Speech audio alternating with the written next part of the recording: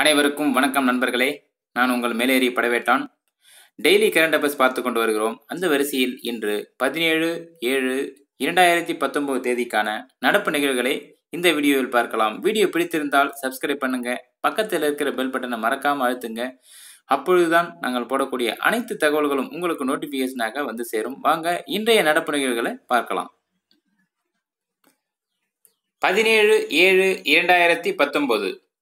ஆசியாவின் மிகப்பெரிய சூரிய மின் திட்டம் எங்கு அமைந்துள்ளது? ரேவா மத்திய பிரதேசம். முதலாவது இமயமலை மாநிலங்களின் மாநாட்டை எந்த மாநிலம் நடத்த உள்ளது? உத்தரகாண்ட்.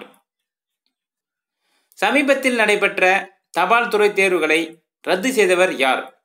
மத்திய தொலைத்தொடர்புத்துறை அமைச்சர் ரவிசங்கர் பிரசாத். மாநிலங்கள் அவையில் தபால் துறை தேர்வில் ஹிந்தி மற்றும் ஆங்கில மொழியுடன் தமிழிலும் தேர்வு நடைபெறும் என அறிவிக்கப்பட்டுள்ளது. சமீபத்தில் தேசிய கட்சி அந்தஸ்தை இழந்த கட்சிகள் எத்தனை? மூன்று. இந்திய கம்யூனிஸ்ட் தேசியவாத காங்கிரஸ் திரிணமூலம் காங்கிரஸ். கடந்த ஆண்டுகளில் எச்ஐவி வைரஸ் பாதிப்பால் இருந்தவர்களின் எண்ணிக்கை முப்பத்தி மூன்று சதவீதமாக குறைந்துள்ளது.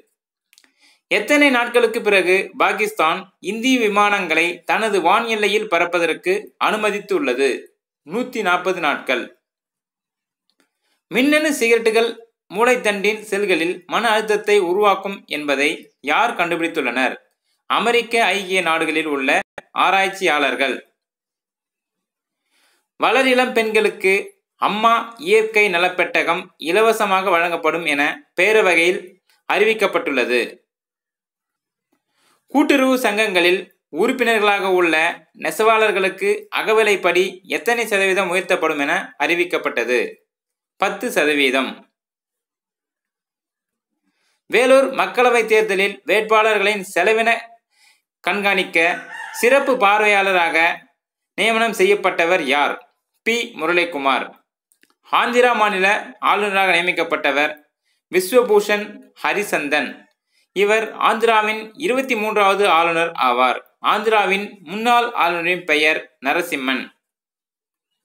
சத்தீஸ்கர் மாநில ஆளுநர் அனுசுயா உய்கே சத்தீஸ்கர் மாநில முன்னாள் ஆளுநர் பல்ராம் தாஸ் டாண்டன்.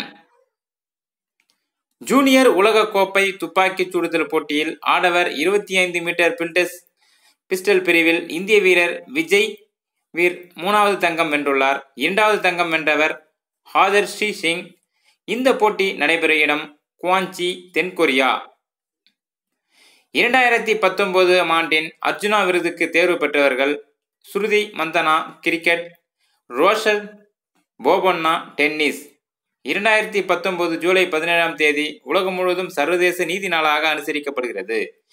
இரண்டாயிரத்தி பத்தொன்பதின் மைய கருத்து நீங்கள் அமைதியையும் வளர்ச்சியையும் விரும்பினால் சமூக நீதிக்காக செயல்படுங்கள். கடைசி வரைக்கும் இந்த கரண்ட் அஃபேர்ஸ் நிகழ்ச்சிகளை பார்த்தமைக்கு நன்றி. மீண்டும் நாளை சந்திக்கலாம். நன்றி. வணக்கம்.